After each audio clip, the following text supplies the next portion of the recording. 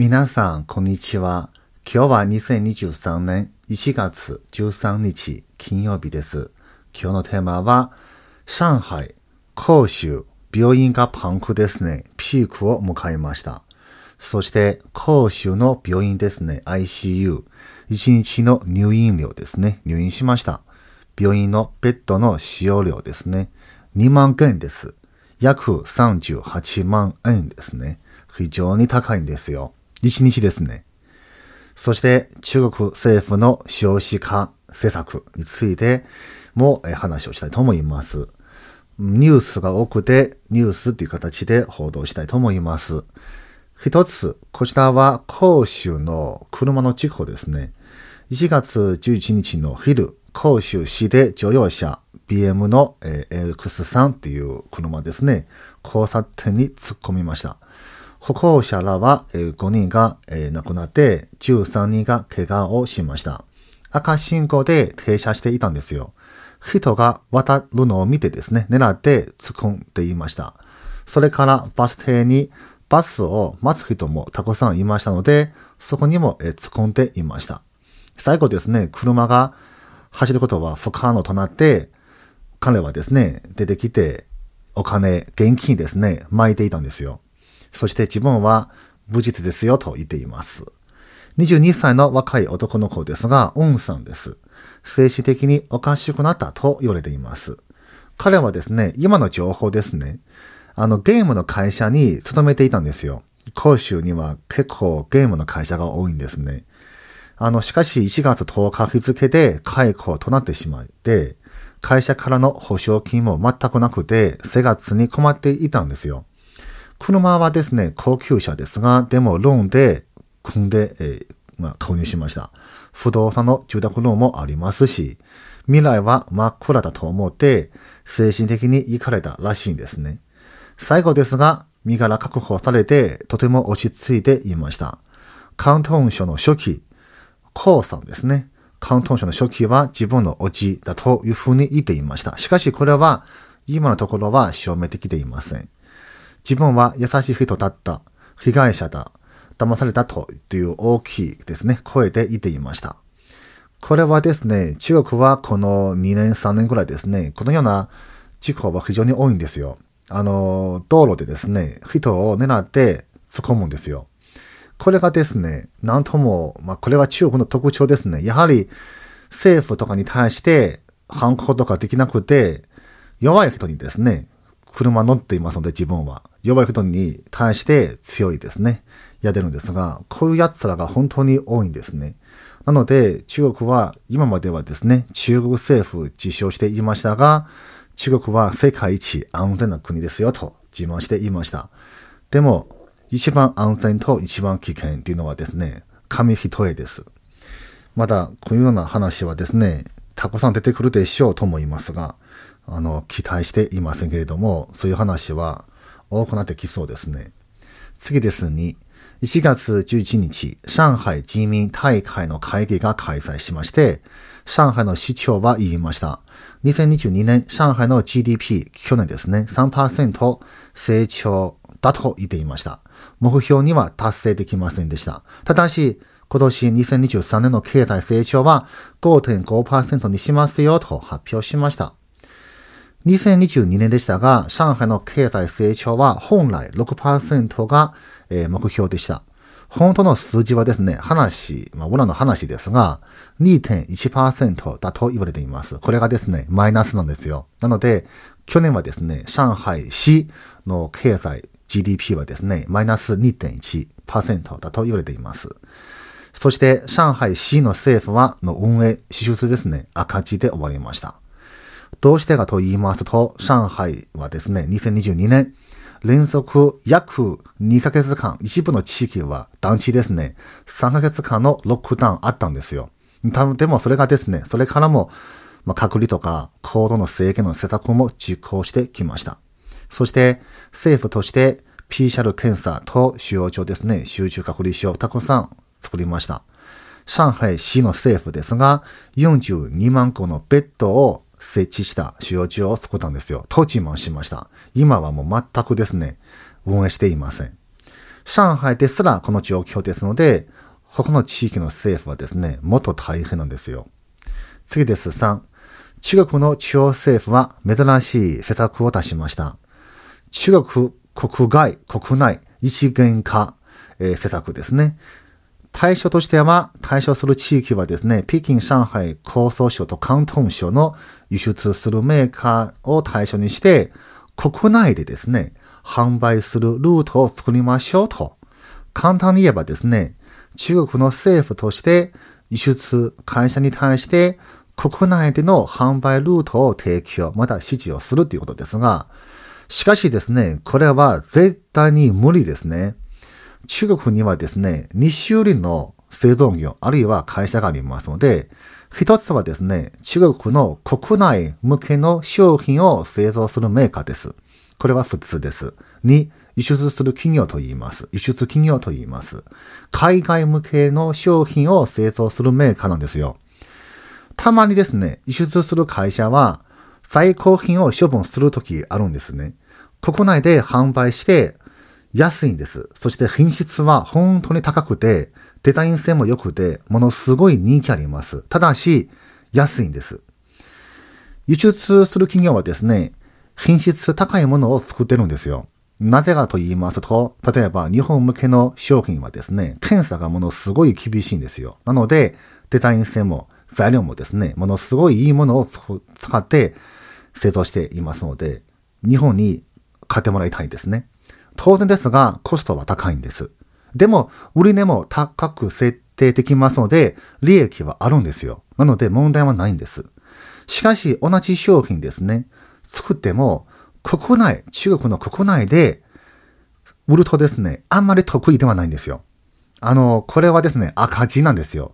つまりですね、国内向けの製造となってくると、あの、安くしないといけません。そうすると、品質を落とさないといけません。そうすると、材料もですね、えー、ダメな材料を使わないといけません。そういう意味ですね。また、取引のルールは全く違います。外国の商社はですね、お金はすぐ払ってくれるんですよ。あの、一部、例えば10%ですね。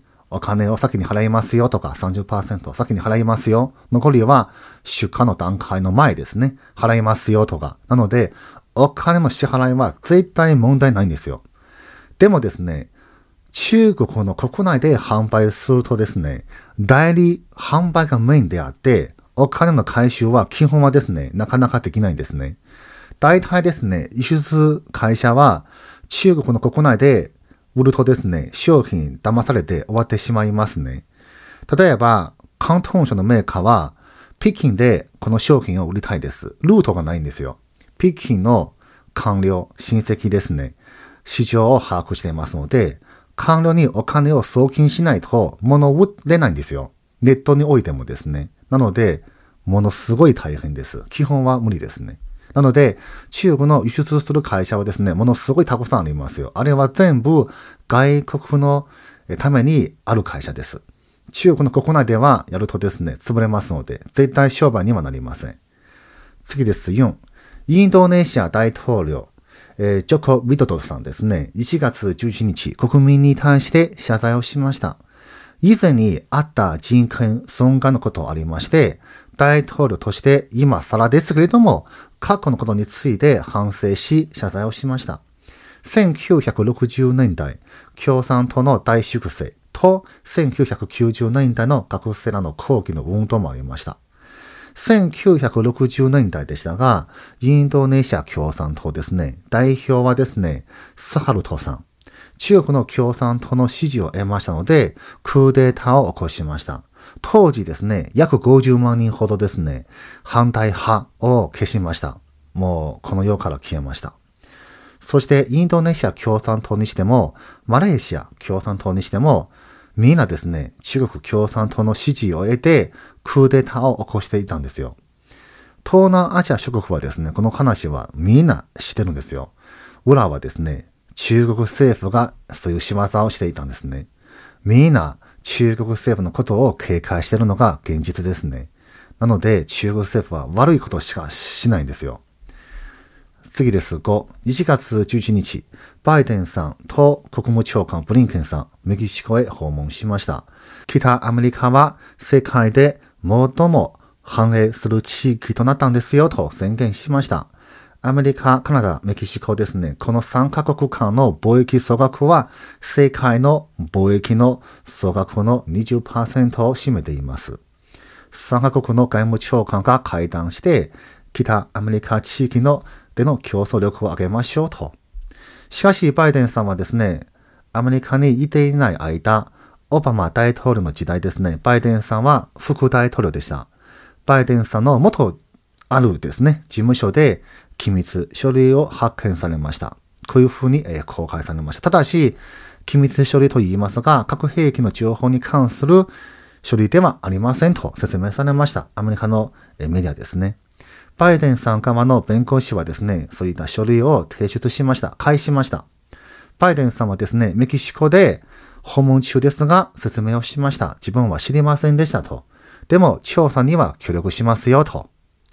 しかしですね、アメリカの国家法律の弁護士とか専門家はですね、まあ私は感じていることですが、結構バイデンさんのことをかばっているというふうに私は感じていますね。このような案件ですね、例えば内容ですね。このような案件はよくあるんですよとか、バイデンさんとトランプさんは比べてはいけませんよとか、トランプさんは調査、また捜査には協力しませんでした。バイデンさんは全面的に協力してくれるんですよとか、バイデンさんはたまたまですよ、認識不足ですよとか、トランプさんはたくさんの書類、車で運んでいたんですよとか、そういう話はあるんですよ。なので、これを聞いてどうしても、あれとか思ってしまいますね。平等公平ではないのでしょうかと思いますね。例えば、トランプさんはあれだったのから、バイデンさんはいいでしょう。ではないんですよね。トランプさんは量が多いから、バイデンさんは少しの量ですので、いいでしょうとか、良くないですよね。やはり、おかしいですね。あってはいけないことですので、今後どういうふうに対応すればいいでしょうか？という話をすればいいのに、それがなくてですね、あの、トランプさんはダメでした。バイデンさんはいいでしょう。っていうのが良くないでしょうというふうに思いますね。やはり平等公平ではないでしょうかと思います。またこの件についてどういうふうに動くでしょうか、えー、注目しながら皆さんに、え報告したいと思います。次です。6。1月11日、WHO のテトロス局長ですね、記者会見で話をしました。中国のコロナ状況についての報告はとても少ないんです。まあ、基本ですね、これは次1回ですね。中国政府が発表しましたので、次1回しか報告しませんと。そして、中国政府が提出した数字ですね、とても受け入れることはできません。中国の衛生機構ですね、12月から提出した数字ですね、全国14億人ですね、の中37人だけですね、コロナに感染して亡くなったんですよと報告されています。これはですね、中国政府は統計の仕方を変えたんですよと、世界の各国と違います。中国はですね、コロナに感染して健康の人であり、でも呼吸的に亡くなって亡くなったんです。それでコロナで亡くなったんですよと判断するんですよ。このような統計の仕方でしたら、多くの感染者は記録されません。そういうふうに言いました。これに関して中国政府は反論しました。亡くなった方に対して厳しくですね、そういう死亡の原因ですね、調査する必要はありませんよと。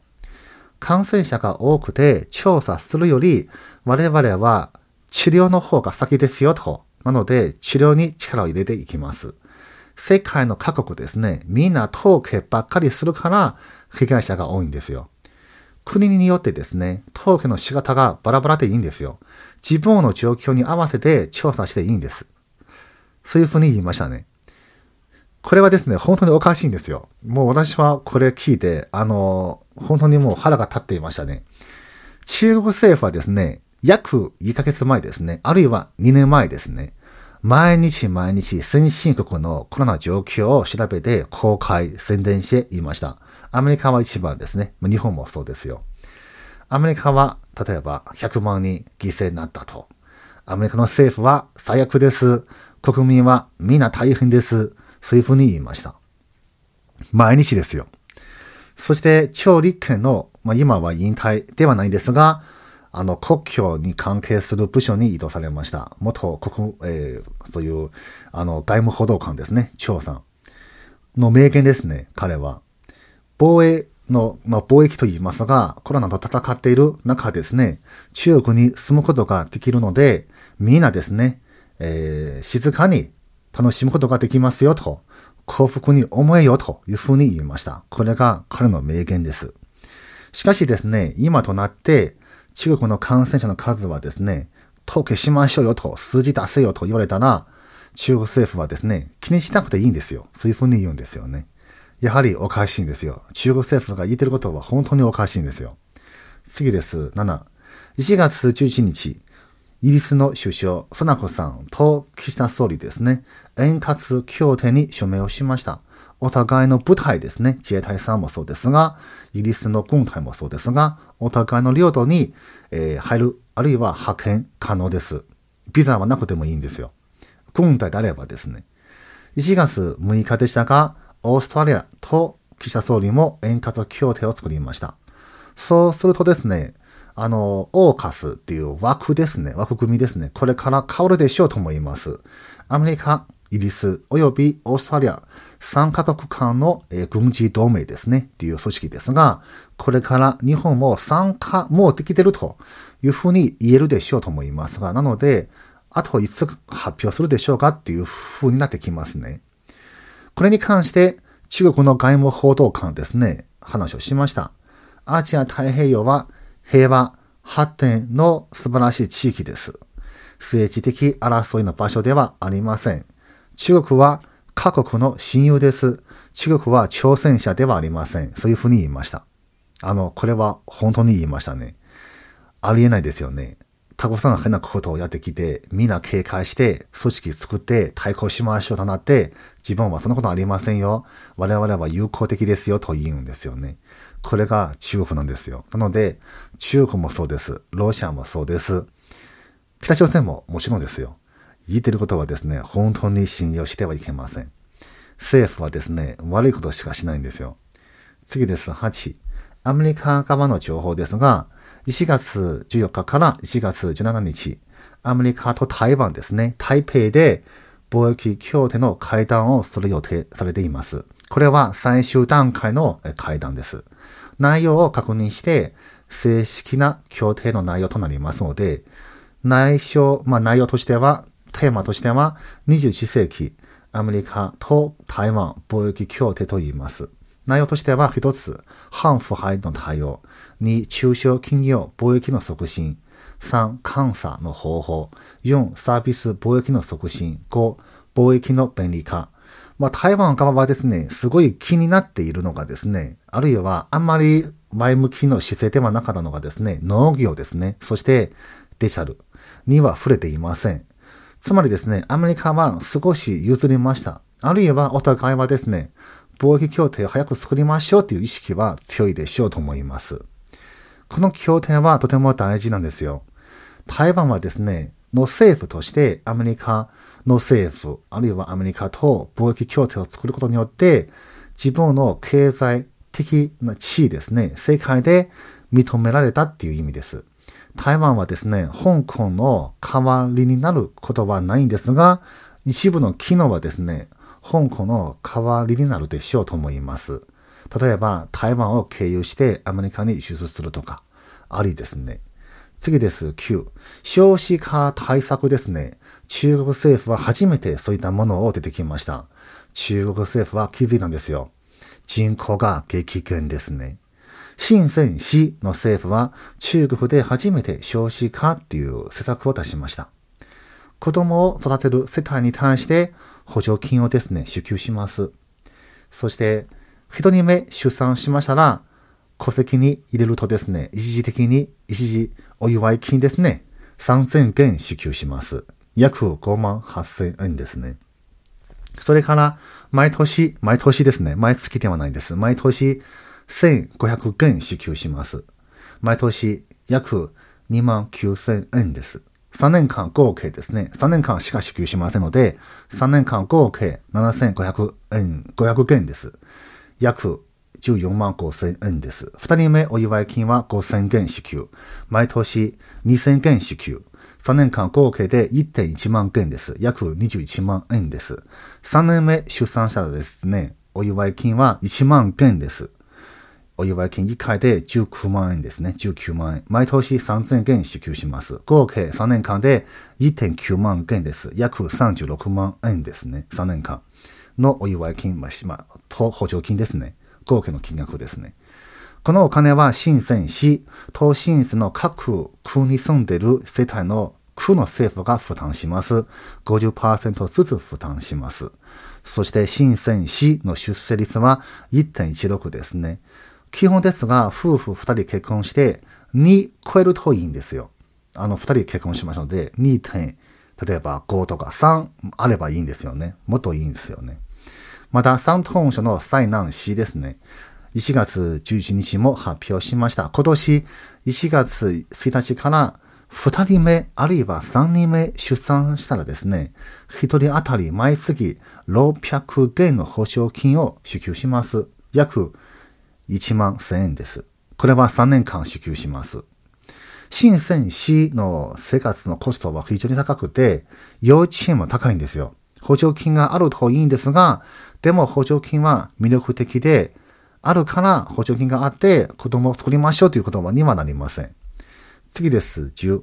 アメリカの衛生機構が発表しましたが、今年の冬、感染、入院のピークですね、迎えるかもしれませんと発表しました。アメリカではですね、第2次、2次感染者が多いと報道されています。そして予防接種は4回目を受ける方もいらっしゃいますね。そして XBB.15 というものですね。最も感染しやすい株ですよと言われています。また、3回目の感染者もいると言われています。アメリカの衛生機構はですね、少し軽くはまあ、説明していますが、今までの株と比べるとですね、致命的ではありません。治療できないものでもありません。そういうふうに表現しました。ただしですね、今までの変異株でしたらですね、軽くなってくるんですよ。しかし XBB1.5 になってくるとですね、軽くなっていないのが今のが事実ですね。そして中国でも感染者がいてるんですよ。現在ですね、中国の農村部規制っていうことで、これからなんですよ。上海の状況、広州もそうですが、あんまり良くないですね。先週の金曜日からひどくなってきて、病院はもう満杯なんですね。診察の待ち時間は6時間から8時間の待ちなんですよ。でも、当然ですね、薬不足は続いていますので、例えば診察を受けて、1週間分の薬をもらえるのが普通なんですね。でも、3日、4日分しかもらえないんですね。様子を見てみましょうと。やはり薬不足ですので、そして上海にいる王先生ですね、張本校先生は言いました。想像よりひどいと。認めました。彼は先月言いましたが、大丈夫ですよ。問題ありませんよ。一回感染して終わりですよ。そして90%の方はですね、感染して症状はありません。気づきません。10%の方は感染して症状はあります。でも症状は軽いですと言ったんです。今はですね、やはり認めました。想像よりひどいと認めました。そしてこれから第2波、あるいは数波ですね、数回、こういうピークは起きるでしょうと言っていました。ただし、第2波の予測はできません。やはり第1波はまだ終わっていませんので、まだ春節が終わって、第1波は終わるでしょうと先週は言っていたんですが、今はですね、その話は撤収されました。上海ですね、ピークを迎えて、ピークを迎えてですね、中国の場合は重症の患者さんはすごい増えるんですよ。そして、過疎場のところもですね、ものすごい忙しくなってくるんですよ。そういう特徴がありますね。そして、重症の患者さんは増えてきて、入院する費用はですね、高いんですよ。これは上海だけではないんです。中国の多くの地方政府は発表しました。コロナの治療費用はですね、保険適用外とするよと。原因としてはですね、政府もお金がないんですよ。負担が大きいんですね。上海は現在、検討中ではありますが、公州の病院は発表しました。ICU の使用料金ですね。1日につき24時間2万件です。約38万円ですね。全額自己負担です。この金額ですとですね、公州の平均収入の5ヶ月分ですね。つまり、5ヶ月分働いて1日で終わってしまうんですね。そして、中国の保険会社ですね。民間の保険会社と言いますが、まあ大体国営企業がやっていますが、大体ではないですね。100%ですね。国営企業がやっている民間保険会社ですが、たくさんのコロナ治療に関係する商品を出したんですよ。例えば、コロナ、えー、隔離費用とか、隔離保険とか、そういうものあるんですよ。まあ、金融表商品ではないんですね。保険ですね。一つの保険の商品ですね。出したんですよ。結構人気あってですね、みんな、まあ、私の周りですね、結構買いましたね、みんな。やはり不安ですので。しかしですね、一回も聞かないですね。聞いたことないんですよ。あの、使いましたと。現在はですね、絶対に認めないんですよ。診断書にはですね、先生としては、コロナっていうものはですね、まず記入してくれません。そしてですね、あの、みんな抗議して説明しろと言います。中国のメディアも取材してですね、保険会社はみんな同じことを説明しています。これはですね、コロナの保険はですね、あくまでもコロナな、コロナ感染しての治療費の保険なんですよ。コロナで、例えばの影響で心臓とか、あるいは肺などなどと、そういう治療はですね、保険適用外なんですよ。なので、あくまでもコロナだけ対応します。コロナの関係で、そういう、まあ、合併症と言いますが、影響で何か入院とか関係ありません。これもおかしい話ですね。あの、これで中国はですね、本当に数千万人ですね、いていますので、奥は行くか行かないかですね、これからはみんな大変ですね。中国の保険会社ですね、政府と組んで、手を組んでですね、国民を騙してるんですよ。基本ですね、中国の保険会社は絶対に認めないですよ。ものすごい強いですね。中国政府が経営してるからなんですよ。そして、外資系の保険会社は、本来であればですね、中国で経営するとですね、絶対に人気あります。間違いないですね。でも中国政府は、あの、許しません。やはり、保険会社はですね、ものすごいお金を集めるのが上手ですから、そして銀行と地下で利息は発生しないですね。ただで国民のお金を運用しますので、そして大体ですね、あの赤字で返しますので、あ大体返さないですね。中国の場合ですね。そういうのが特徴ではあります。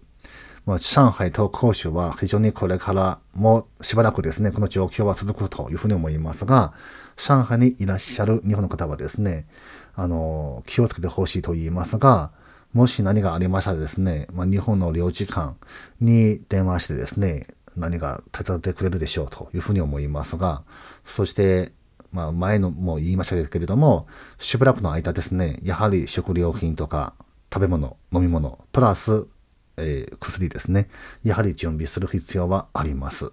まあ、これはですね、落ち着いてから、えー、でいいんですが、しばらくは落ち着かないのが今の状況ですので、やはり自分で自分を守ることですね、大事だというふうに思います。